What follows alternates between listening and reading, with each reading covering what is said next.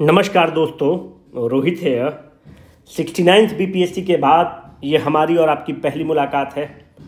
मतलब जिस पे हम लोग आराम से बात कर रहे हैं कट ऑफ़ वगैरह को छोड़कर। देखो बेसिकली हम लोग ये चीज़ पर डिस्कस करने वाले हैं कि जिनका प्रीलिम्स नहीं हो रहा है, उसके साथ भी हम लोग हैं। जो भी मेंस वाले लोग हैं, उनके लिए हम लोगों ने दक्ष बैच लॉन्च कर दिया है और वो पिकअप में चल रहा है। पर बहुत ऐसे लोग हैं जो बॉर्डर लाइन पर हैं। जो बॉर्डर लाइन पर लोग हैं, मेरा उनसे नम्र निवेदन ये है कि आप मेंस की तैयारी करें। पर बहुत ऐसे लोग हैं जिनको पैंसठ या पैंसठ से कम आ रहा है। या अगर जनरल मेल की मैं बात कर रहा हूँ, अगर मानते हैं कि आपका सत्तर से कम आ रहा है, सत्तर के आसपास आ रहा है तो don't be under the false impression की सत्तर नंबर कट ऑफ़ जाएगा। सत्तर या सत्तर से कम नंबर है तो आपको सत्तरवीं बीपीएससी को टारगेट करना चाहिए। पर ये इंपॉर्टेंट ये है कि बहुत लोग आप लोग मेल कर रहे हैं मैसेज कर रहे हैं कि कोर्स लॉन्च करिए कोर्स लॉन्च करिए कोर्स लॉन्च करिए। देखो, पूरा मार्केट में कोर्स लॉन्च हो चुका है। अगर हम मार्केट के हिसाब से चले तो हमें भी कोर्स लॉन्च कर देना चाहिए था। पर यह हम लोगों के वैल्यू सिस्टम के खिलाफ होगा। जब तक उस पेपर को एनालाइज हम लोग खुद ही नहीं करेंगे, जब तक हमें पता नहीं होगा कि क्वेश्चन कहाँ से चेरी पिक्ट किए गए हैं जब तक हम लोग उसको अच्छे से स्ट्रैटेजी का पार्ट नहीं बनाएँगे, तब तक आपके समक्ष आना बेईमानी है। कोर्स आते रहेगा, बिकते रहेगा दोस्त। एक बार क्रेडिबिलिटी बन गया तो दक्ष में अगर आप देखो तो हमारे पास भीड़ लगी हुई है। इस लेवल का है। It is all about the credibility तो क्रेडिबिलिटी मेंटेन करने के लिए, आपका विश्वास नहीं खोने के लिए हम लोग अभी और टाइम लेंगे। और दो, चार, पाँच दिन वक्त लगेगा। अगर सब चीज़ सही रहा तो पंद्रह अक्टूबर से फिफ्टींथ अक्टूबर से हम लोग सत्तरवें बीपीएससी का कोर्स लॉन्च कर देंगे।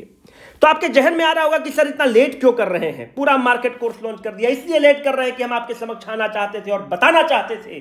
कि क्वेश्चन कहाँ से पिकअप किया गया है। जब तक हमें यह नहीं पता होगा कि क्वेश्चन कहाँ से पिकअप किया गया हो तो होगा तो हम अपनी स्ट्रेटजी को कैसे स्ट्रीमलाइन करेंगे, हम आपको कैसे गाइड कर सकेंगे। तो आपके समक्ष हम इसलिए प्रस्तुत है, क्योंकि हमें पता है कि क्वेश्चन कहाँ से पिकअप किया गया है। जो भी मास्टर टोपी पहन के टी शर्ट पहन के मुरठा बाँध के, जो भी नौटंकी कर रहा है, आप उससे पूछना कि तुम सिक्सटी नाइन्थ बीपीएससी में बैठते तो तुम पचासी नंबर लेकर आ पाते क्या?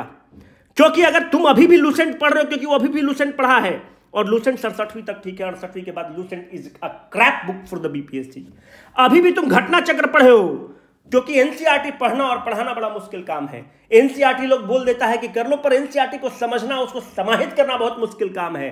तो दोस्तों, अब इसका जमाना चला गया है। तो मेरा आपके पास दो सबमिशन है। अगर आप ये सोचते हैं कि सत्तरवीं बीपीएससी तीन महीना और चार महीने के पढ़ाई से हो जाएगा तो आप इसकी तैयारी मत करिए, कोई और एग्ज़ाम की तैयारी करिए बीएसएससी होगा, बिहार ऐसा ही होगा, उसका कर लीजिए।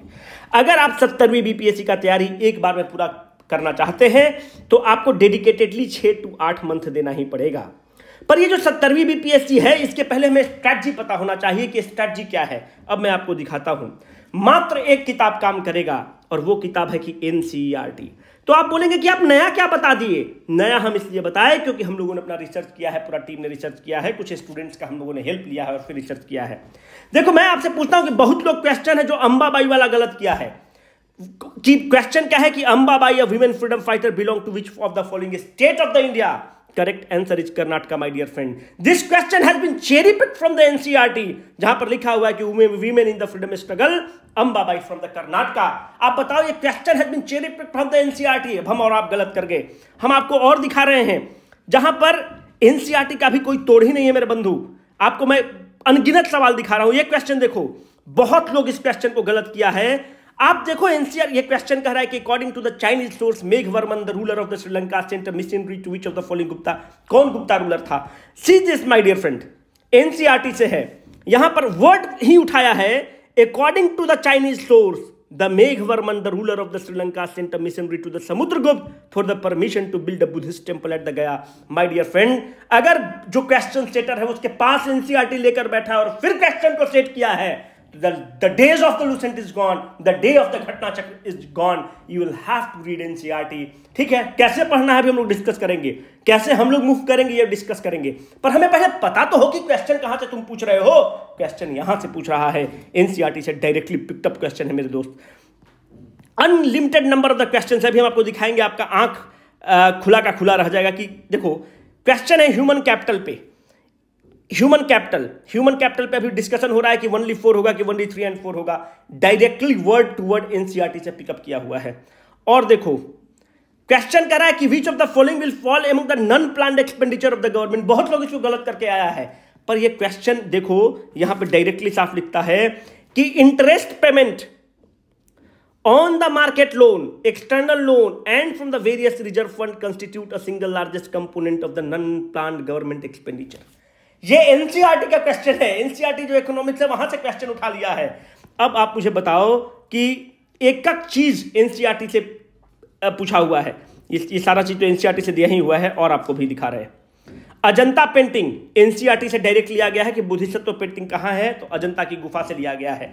अब आपको शुरू से हम दिखाना स्टार्ट करते हैं, नहीं तो आपको लगेगा कि सर दो चार क्वेश्चन आप दिखा के डंडी मार दिए। हम तो कितना अच्छा लूसेंट पढ़ रहे थे। आओ। देखो इस सारा तुम्हारे लिए बना के लाए हम करंट डेंसिटी का क्वेश्चन है। करंट डेंसिटी क्या है? करंट डेंसिटी सीधा देखो। एनसीआरटी से पिकअप किया हुआ क्वेश्चन है। जेम्स वैटसन एंड क्रिक दूसरे किताब में भी है, हमारे तर्कस में भी है, हर जगह है, हमने भी बताया है, पर हम लोग तो एनसीआरटी पढ़ के ही बताए हुए हैं। तो देखो James Watson and Francis Crick NCERT ठीक है?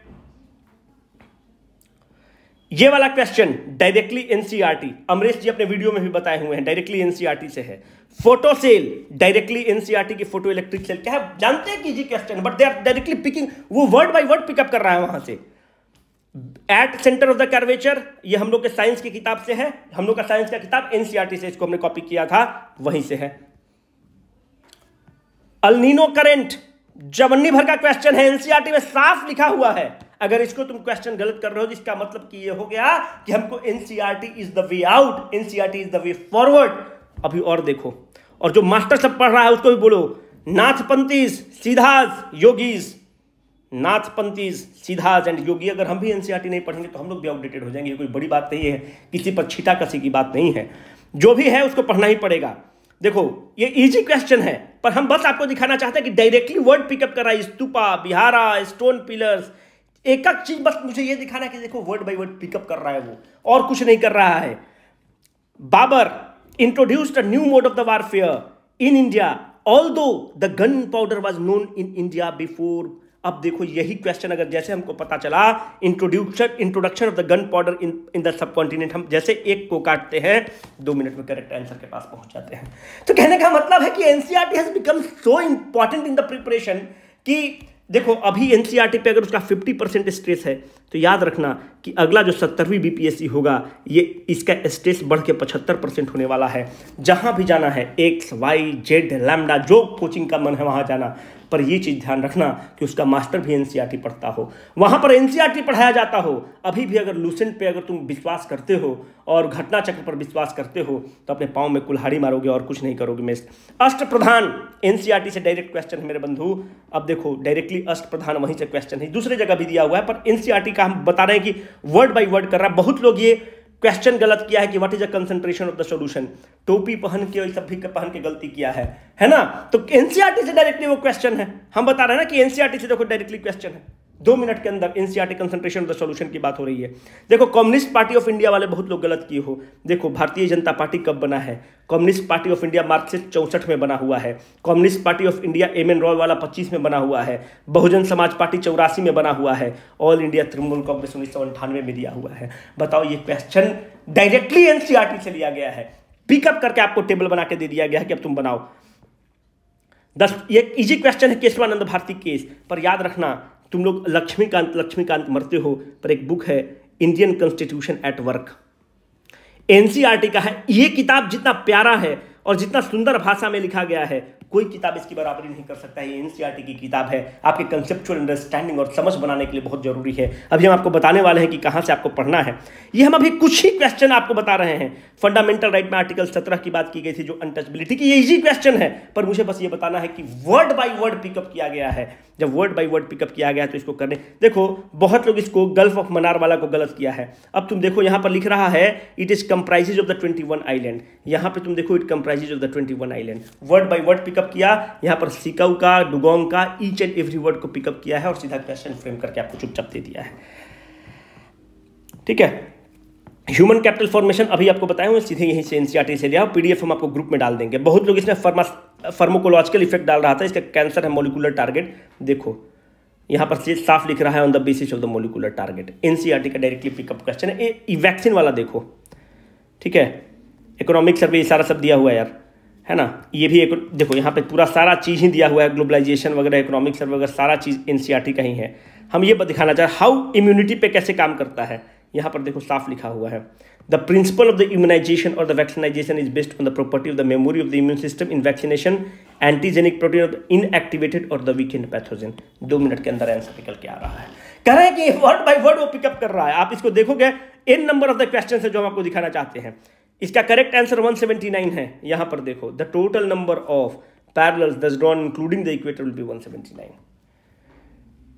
और देखो, ये क्वेश्चन है कि लैब ग्रोन डायमंड्स कहाँ है? देखो graphite is also very graphite is also very diamond can be synthesize मतलब सिंथेसाइज कर सकते हो। By subjecting a pure carbon तो यहाँ पर प्योर कार्बन क्या है भाई? Pure carbon is a graphite, correct answer is graphite. कहने का मतलब है कि एनसीईआरटी से ऐसा ऐसा वो क्वेश्चन पिकअप किया है कि आपको पसंद आ जाएगा। हम कुछ फ्यू सैंपल्स आपको दे रहे हैं। तो अब एज ऑफ़ नाउ हमें पता हो गया है कि क्वेश्चन कहाँ से पिकअप किया गया है।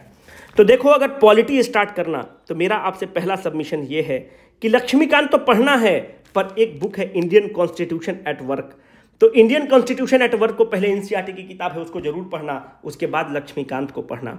उसके बाद अगर तुम देखोगे तो एंशियंट हिस्ट्री की रामचरण शर्मा है, जो एनसीईआरटी की किताब है, ज़रूर पढ़ना। मॉडर्न हिस्ट्री में हम नहीं बोल रहे हैं कि स्पेक्ट्रम मत पढ़ो स्पेक्ट्रम ज़रूर पढ़ो, पर साथ में स्पेक्ट्रम स्टार्ट करने से पहले एक बार बिपिन चंद्रा ज़रूर किताब पढ़ लेना, बहुत डीप अंडरस्टैंडिंग देगा। वो एनसीईआरटी की है और उनकी अलग पब्लिकेशन की भी किताब आती है कॉन्टेंट सेम ही है। तो मेडिवल हिस्ट्री का जो एनसीईआरटी आता है उसको एक बार ज़रूर पढ़ लेना बहुत इंपॉर्टेंट है। साइंस का जो एनसीईआरटी है, उसको ज़रूर पढ़ लेना। हम लोग ग्रुप में डाल देंगे कि कौन कौन सा एनसीईआरटी पढ़ना है, पहले भी हम डाल रखे हैं। कहने का मतलब है, बंधु, वहीं पर जाओ। एक्स पर जाओ वाई पर जाओ जेड पर जाओ लेमडा पर जाओ। पर एनसीईआरटी को पढ़ना मुश्किल काम है। एनसीईआरटी को समझना मुश्किल काम है, क्योंकि एनसीईआरटी बहुत एक्सप्लेन नहीं करता है। तो हम लोग का काम ये रहेगा कि हम लोग एनसीईआरटी को इजी बना दें। एक बार हमारा तय हो गया कि एनसीईआरटी से क्वेश्चन पूछ रहा है पहले भी हमारे सारे कोर्सेज एनसीईआरटी पर थे। इस बार strictly on the NCERT pattern होंगे। हम लोग पहले कोचिंग इंस्टीट्यूट हैं, जो एनसीईआरटी पर एक डेडिकेटेड कोर्स लॉन्च किए थे, अगर आपको पता है। और वो पूरा कोर्स हम लोग दो सौ इक्यावन रुपया में दिया था। और पूरा एनसीईआरटी का हम लोगों ने सार उसको दिया था, दो सौ इक्यावन में। तो कहने का मतलब है कि जो हम लोग स्टार्ट करने वाले हैं, जो सत्तरवीं बीपीएससी के लिए स्टार्ट करने वाले हैं, वो बहुत अगर होगा तो हम लोग पंद्रह कोशिश कर रहे हैं फिफ्टीन अक्टूबर से हम लोग उसको लॉन्च कर दें। डिटेल आपको वीडियो में आ जाएगा। और कहाँ से स्टार्ट करने वाले हैं? पॉलिटी से स्टार्ट करने वाले हैं। क्यों पॉलिटी से स्टार्ट करने वाले हैं? क्योंकि देखो पॉलिटी से इस बार डीप डीप क्वेश्चन बनाया है, अगर ध्यान से देखो तो। जो हाईकोर्ट जज वाला क्वेश्चन है कि हाईकोर्ट जज की संख्या कौन बढ़ा सकता है, बेहतरीन क्वेश्चन है मैक्सिमम लोग उसमें पार्लियामेंट मारा है। करेक्ट आंसर प्रेसिडेंट है। अगर आप देखोगे तो कॉलेजियम सिस्टम में बहुत अच्छा क्वेश्चन उसने बनाया है। आपको पता होना चाहिए कि फ़र्स्ट जज केस क्या है सेकेंड जज केस क्या है थर्ड जज केस क्या है, तभी जाके आप उस उत्तर को सॉल्व कर सकते थे। तो पॉलिटी एक अंडरस्टैंडिंग खोजता है। पहले वाला पॉलिटी नहीं है कि दस आर्टिकल रट लिया और अपना काम हो जाएगा। So the polity needs understanding will resume our courses और will start our courses from the polity which will completely based upon the NCERT और लक्ष्मीकांत भी कवर्डिंग होगा। तो हम लोग कोशिश कर रहे हैं कि पंद्रह अक्टूबर से हो। देखो मार्केट के हिसाब से बिज़नेस के हिसाब से हमें कल जिस दिन एग्ज़ाम खत्म हुआ था, अगले दिन लॉन्च कर देना चाहिए था, पर हम अपने आप को माफ़ नहीं कर पाते। क्योंकि जब हम ही तैयार नहीं हैं, जब हम ही को पता नहीं है कि हम लोगों को किस डायरेक्शन में लेके चलना है तो हम लोग क्या आपको गाइड करते? अब चीज़ें स्पष्ट हो चुकी हैं, चीज़ें बहुत स्पष्ट हैं। अब उसके हिसाब से हम लोगों ने सारा अपने सिस्टम को लाइन कर दिया है। पंद्रह अक्टूबर से हम लोग कोर्स लॉन्च कर देंगे। मेंस वाला कोर्स चालू है। ऐसे वाला कोर्स भी हम बारह तारीख से लॉन्च कर देंगे। इससे एकदम मनोबल मज़बूत रखना और खुद भी एनसीईआरटी पढ़ना और इस बार कोशिश करना कि सत्तरवीं में कुछ नहीं फेल हो। पीडीएफ हम आपके ग्रुप में डाल देंगे। Signing off for the day Rohit